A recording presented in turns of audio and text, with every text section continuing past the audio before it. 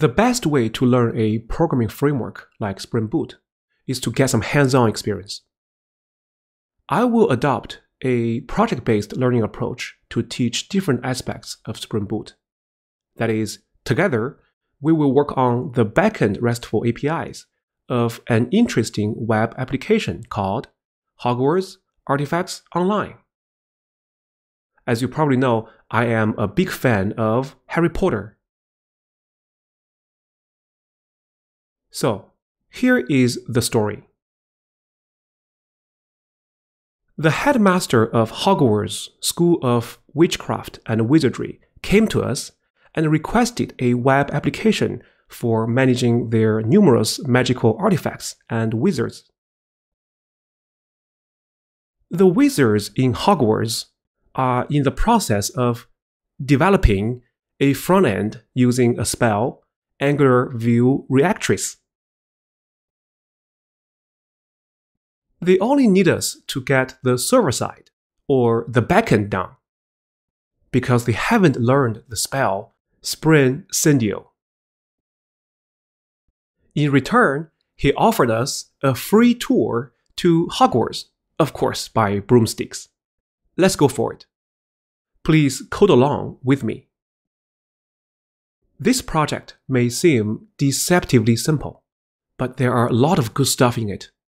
Here is what you will learn while you are building the REST APIs. You will use the Spring Framework's core container and the dependency injection technique to control how objects are wired up. You will build the web layer of an application using Spring MVC. MVC stands for Model View Controller. You will see how easy it is to handle incoming HTTP requests and respond results to the client side using Spring MVC. You will use Spring Data JPA to persist data to a relational database. JPA stands for Jakarta Persistence API.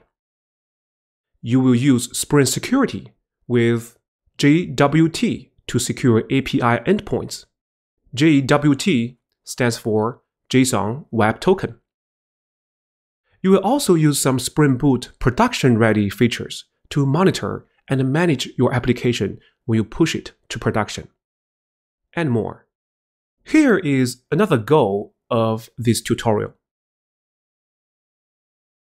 Besides teaching the cool features of Spring Boot, in this Hogwarts Artifacts Online project, I want to demonstrate some good software engineering practices so that they will help your future career. For example, we will use Git and GitHub for version control and project management. We will learn the API first approach and how to effectively design RESTful APIs. I will also adopt the test driven development or TDD approach. That is, I will start with writing a failing test case, then write just enough code to make the test pass and then refactor the code to make it more maintainable. In the end, I will show you how to use GitHub Actions for continuous integration and continuous delivery. In particular, we will deploy this Spring Boot application to Microsoft Azure, which is a popular cloud platform.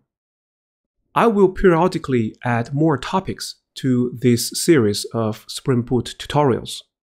Please take a look at the description of this video below to see what new content is added. And don't forget to subscribe my channel. This is an overview of our development process. We will go from requirements to project planning to design to implementation and testing and to deployment. Please note that real projects rarely follow this sequential flow. It is never a simple linear flow, but evolves feedback from one activity to another. In other words, it will be more iterative. But for educational purposes, we will use this simple linear flow in this project to show important activities to consider during the software development. To be more specific, we will use user stories to describe our requirements. We will use GitHub issues to plan and track our work. We will then first design and develop an API documentation for the web application. After that, for each user story, we will design it using object oriented design or OOD, and then use test driven development or TDD to implement it. Once we finish developing all the user stories, we will talk about continuous integration and continuous delivery, or CI CD.